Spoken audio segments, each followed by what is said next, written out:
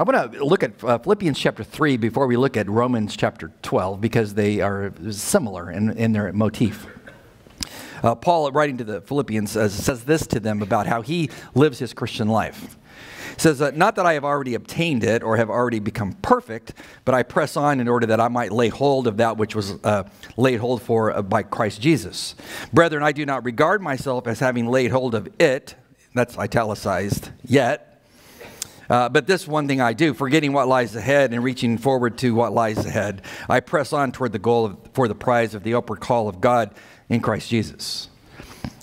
What's the it? It's italicized uh, in, uh, in the text that you have in your hand. It's not on the, the on the screen, but it's not in the original Greek text. Uh, what is he talking about? What is that which he is uh, trying to obtain? Uh, the first clause says, Not that I've already obtained it, but it's uh, um, denoted in the second clause, which says, Or have already become perfect. Uh, that's the Greek word telos, which means uh, complete by design, finished, a final product. Uh, and so Paul says, I haven't yet reached perfection. Well, what kind of perfection?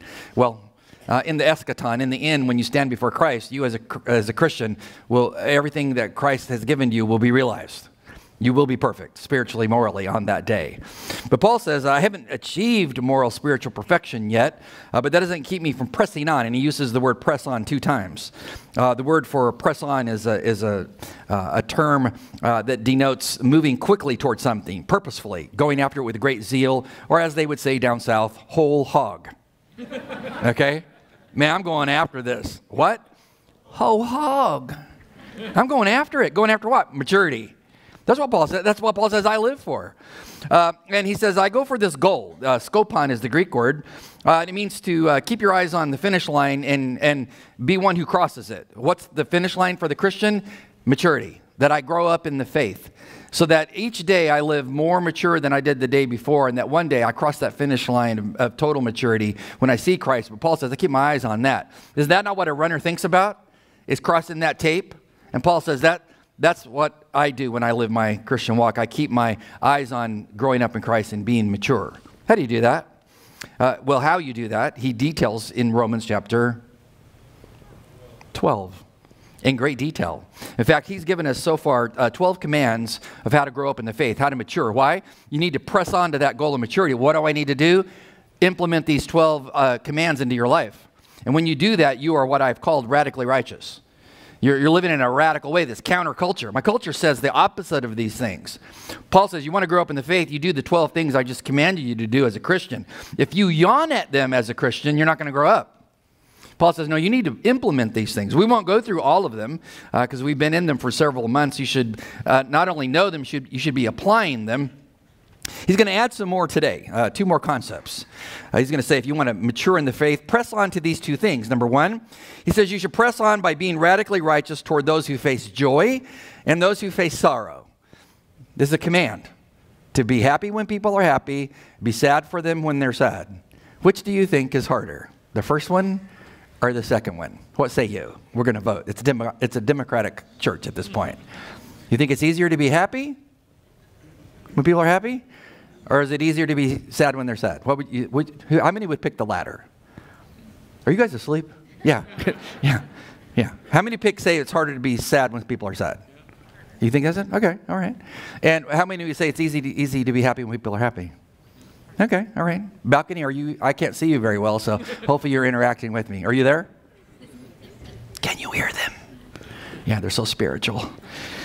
Let's talk about this. Rejoice with those who rejoice. Um, the word rejoice uh, in Greek uh, is the word related to the, uh, it's a good morning in Greek. It's related to the word kaire. So if you saw somebody in Greek in the morning, you would say to them, kaire, equivalent to the Spanish buenos dias, or the German guten Morgen, or guten Tag, depends on what time of day it is, um, or to the Hebrew boker tov, depends on what country you're at.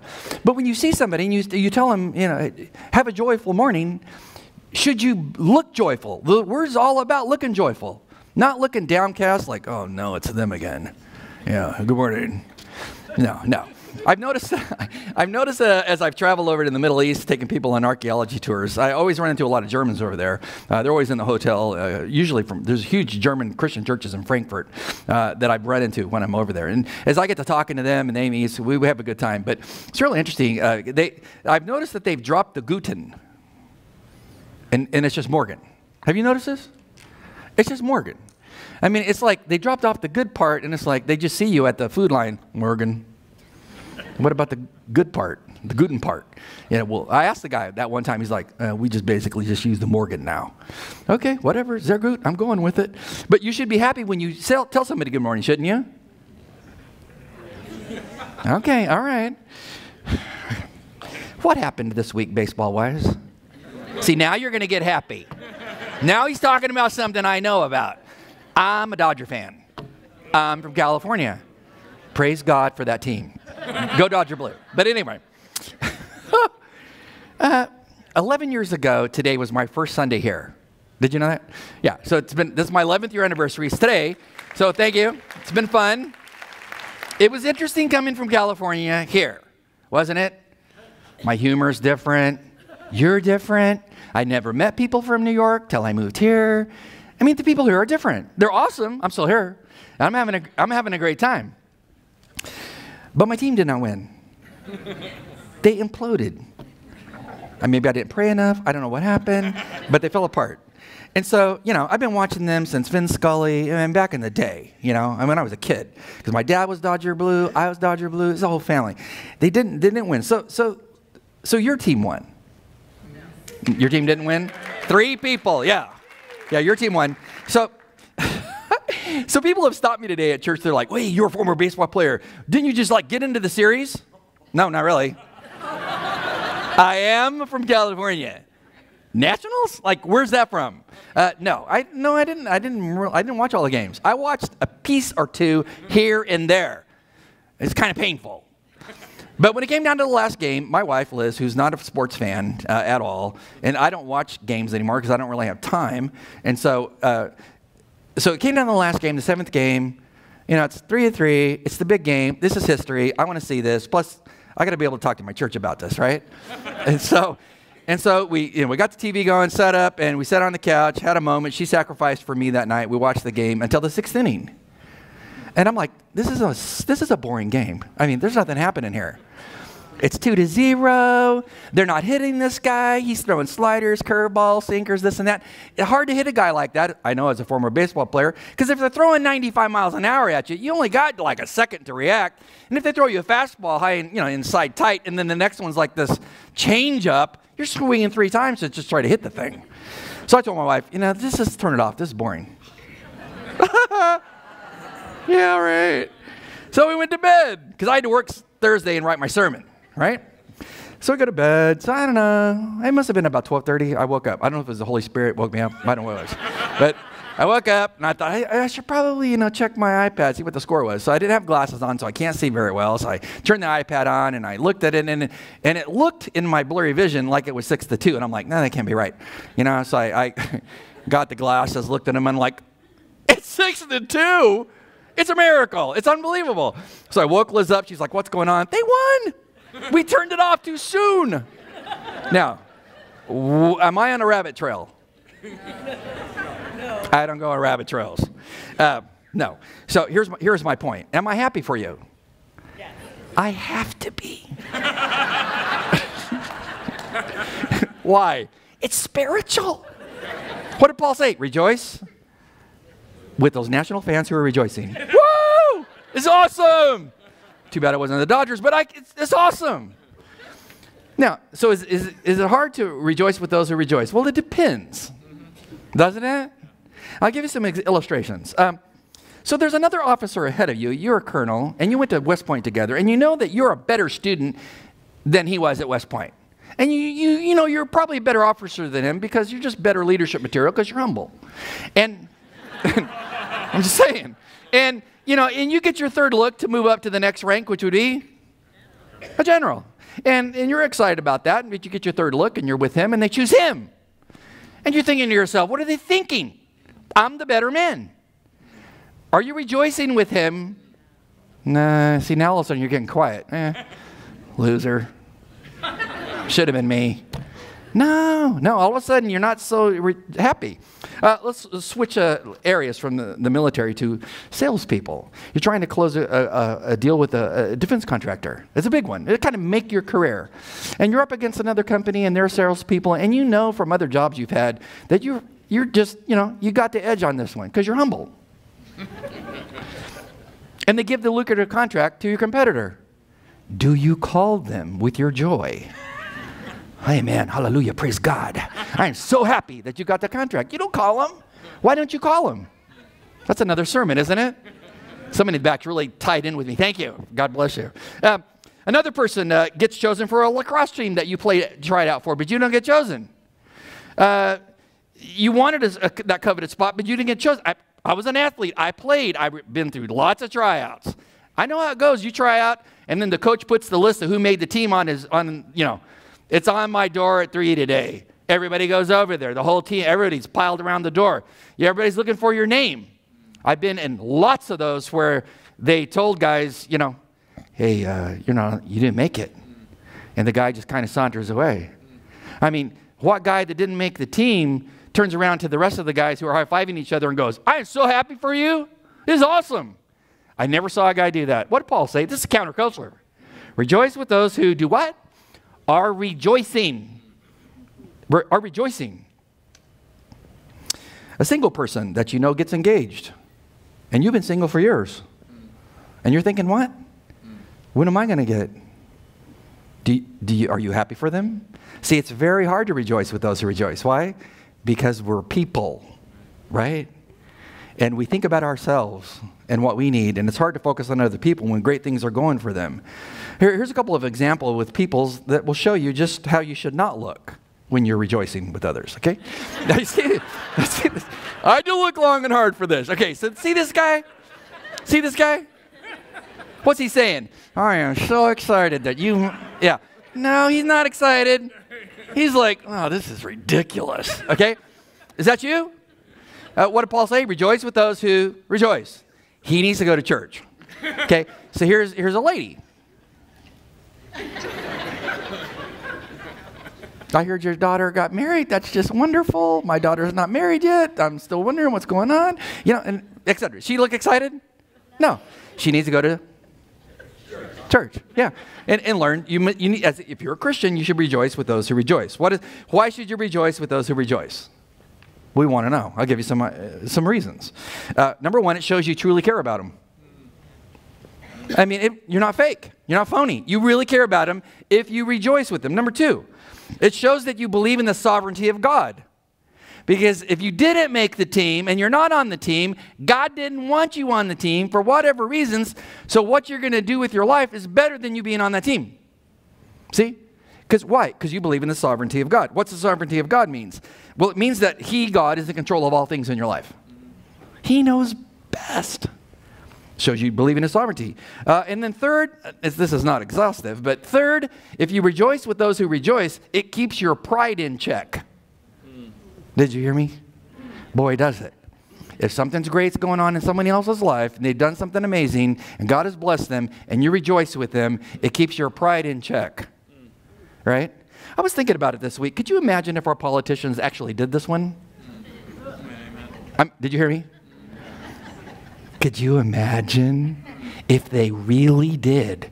When they accomplished great things for the nation, if the other side said, awesome, awesome, they don't do that.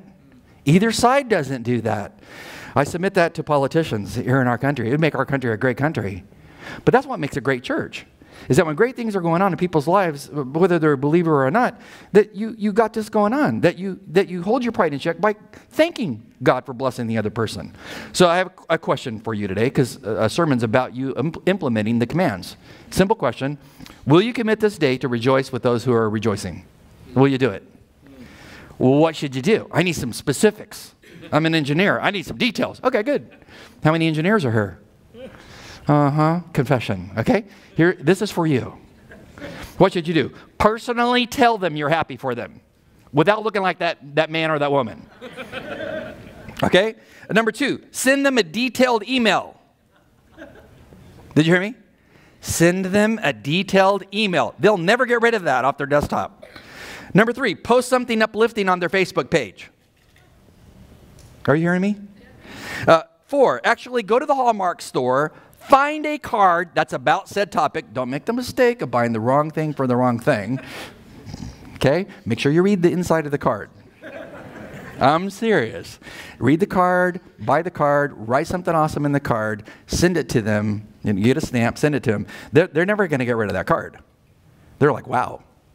I mean, they, they might be my opponent, as it were, but whoa, they stepped across the aisle and they loved on me. It's, ama- it's amazing. Uh, and plus, they, it's going to cost you about seven to 10 bucks to buy a card. So they, they're going to realize you just made an investment. What did Paul say? Rejoice with those who rejoice. Mm, it's kind of easy to do, but there's times when it's not. Will you be happy when other people are happy? Then he says, on the other hand, weep with those who weep. Uh, I've had plenty of that in my lifetime.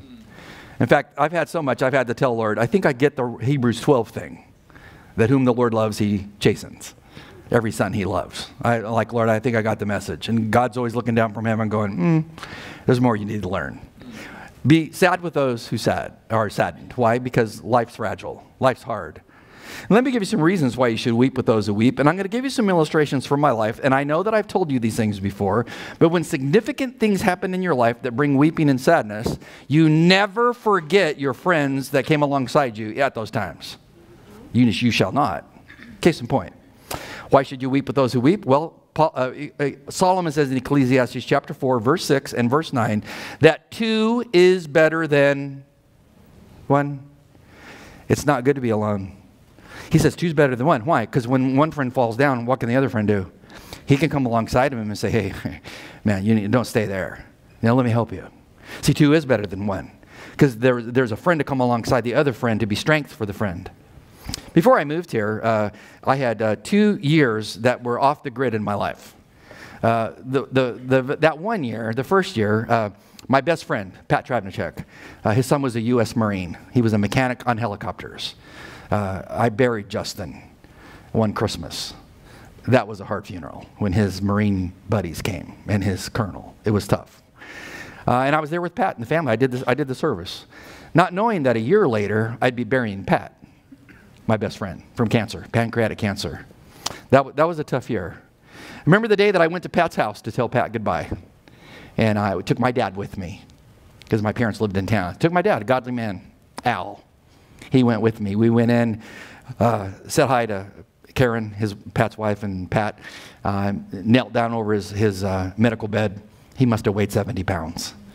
And uh, read the scriptures to him, prayed for him. And I remember when I put my arms around his little bony body, and he, he, he couldn't even speak.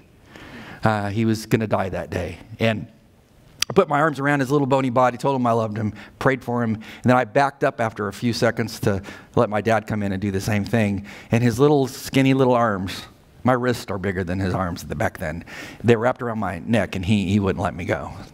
And I could feel him pulling me back in. What do you do then? well, I went back in and hugged him longer. It was tough. But I had a buddy there, I had my dad there. I had, my, I had a buddy there. And so when I finally pulled away for the last time, uh, my dad then came in. Now, my dad, you know, former federal agent in charge of hundreds of men, he had seen it all. Uh, there's not too many times in my lifetime I saw my dad cry. He did that day. We both cried next to Pat's bed. We, we cried all the way out of the house. We, had, we cried all the way across the parking lot. We cried when we got in my truck. But you know what? It was okay because two is better than one because I had another godly person alongside me. Why should you cry with those who weep? Well, it helps you identify with them and it brings strength. When you got a buddy, there's strength with a buddy. Uh, not knowing it, that was, the, that was that first of two bad years before I moved here. Um, uh, the next year was, was most interesting, uh, the year before I came here. Uh, because uh, the next year I'd be burying my dad and my other best friend, Rick, two weeks apart. It was tough. So the one who had stood with me, my dad, when my best friend died, I'm now burying my dad.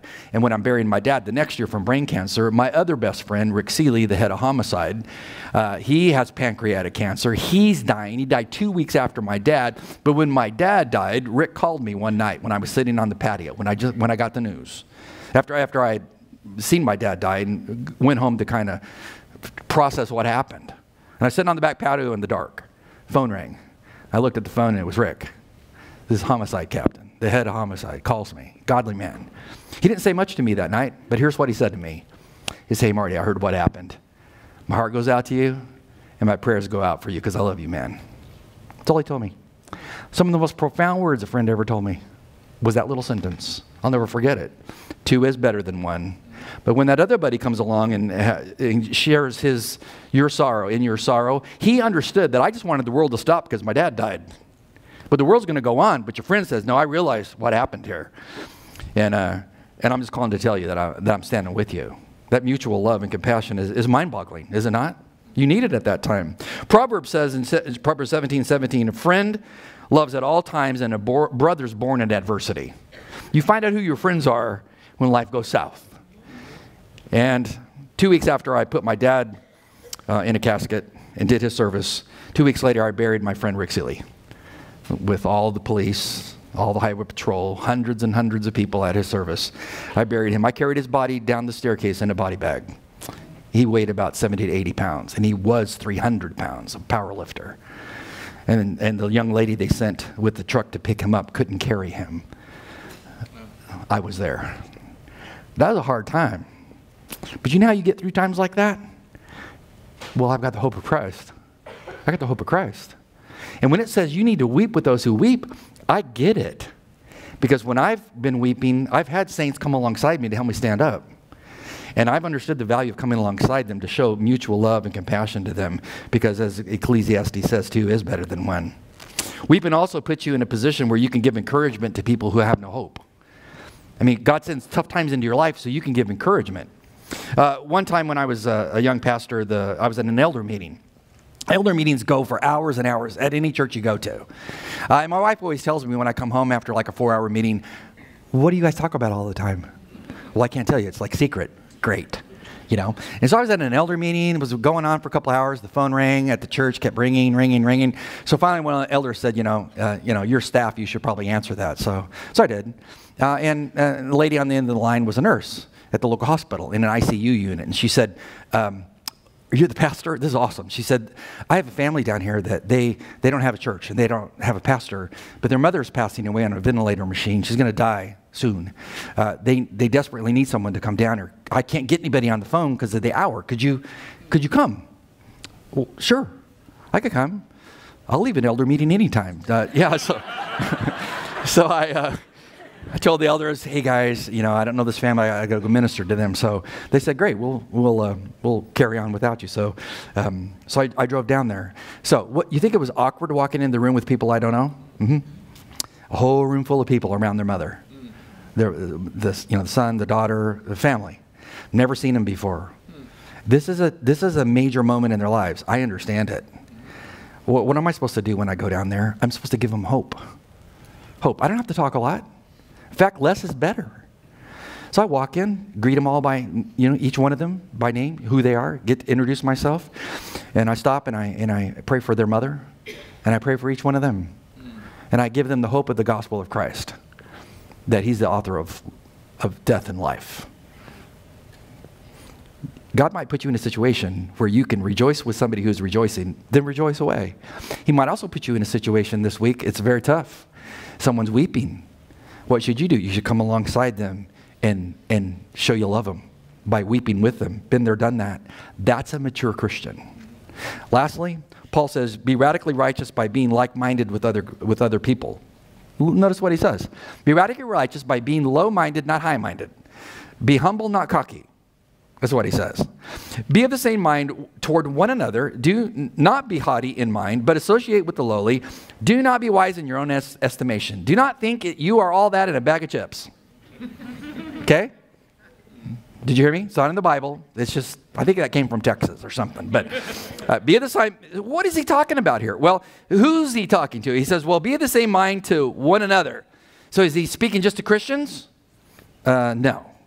Uh, because just because he uses that terminology doesn't mean Christians are just specifically in mind. Uh, here, I think he's talking about Christians and non Christians. Uh, notice how he uses that, that uh, little prepositional phrase elsewhere in his writing. So 1 Thessalonians 3.12. Here's what Paul says. And may the Lord cause you to increase and abound in love for one another and for all men, just as we also do for you. Uh, that whole concept of one another here is tied to believers and non believers. That I should be of the same mind with them. Well, what does that mean? Uh, 1 Thessalonians 5.15, Paul says, using the same grammatical construction, one another. So see that no one repays evil for evil, but always seek after that which is good for one another and for all men. You know, I'm, I'm responsible, as Paul says here, to be of the same mind toward other people. So does that mean that we're all supposed to believe the same things about everything? That's not going to happen. Is it? Do you think you could ever get DC to all believe the same thing about everything? You put 20 Americans in a room, guess what you get? 20 different opinions. I mean, it's just, so that's not what Paul's talking about. What is he talking about? So we have to dive into the grammar for just a minute. So you with me? Okay.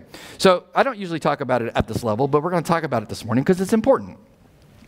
When he talks about identifying with the lowly, there's two ways you can take that word. Uh, you can take it as a masculine, which it is. It is a masculine word, the lowly. Or you can take it as a neuter because the word that precedes it of being high minded is neuter. So if I take it as a masculine, what Paul is saying is as a Christian, you should identify with other people who are less than you, who don't have as much as you, who are lower than you, maybe socially, etc. Uh, they don't have the, the benefits that you've had in life, the lowly, the insignificant kind of person. You should identify with them, that they're important to God. So if it's masculine, he's talking about a person, a person. You take Uber? Uber? Yeah. Do you know what Uber means, by the way? It means the over, to be the best, right? Like the highest. I had, a, I had an Uber driver when I was coming back uh, a month and a half ago or so, two months ago from uh, Disneyland. So Liz and I, uh, we couldn't get everybody in the car because of all of our luggage. And so we had two Uber drivers. And so they both showed up. And um, so I was talking to my Uber driver. He was from Ghana. And I was talking to him. And, uh, and because as a Christian, you're supposed to show concern for the lowly person different than you, le- maybe less fortunate than you, less educated, whatever. They're, they're, they're, they're important in God's eyes. And so I started off by talking to him about do you understand what the word Uber means? No, I don't. So I told him. And I said, it's a good thing they didn't name the country Unter. What would Unter mean? It's the bottom company. it's the under company. He's like, this is awesome. He starts driving faster. And then I found out, you know, about his family in Ghana, why he's here, who he's married to, how they met, etc. You're talking to him, what's your dreams and visions? He goes, Hey, I got a master's degree in business. Huh? Whoa. Blew me away. I said, Well, young man, what's your plan with your life? He began to share with me his life.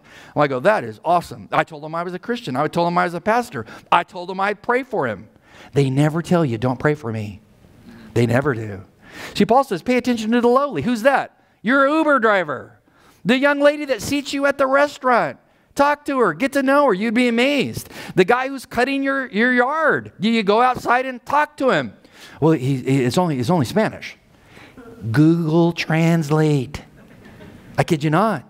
I, I, use it all the time. When I was in Dominican Republic uh, a year ago, and they assigned a maid to us the whole time we were there, I couldn't speak with her. I mean, a little bit, but not talk. Uh, so I got the Google Translate thing going. She thought it was awesome.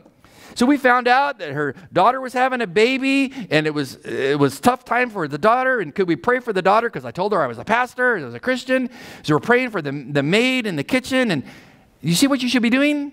I mean, not that I'm all that, but it's like I, I understand I must care for the lowly, didn't Jesus?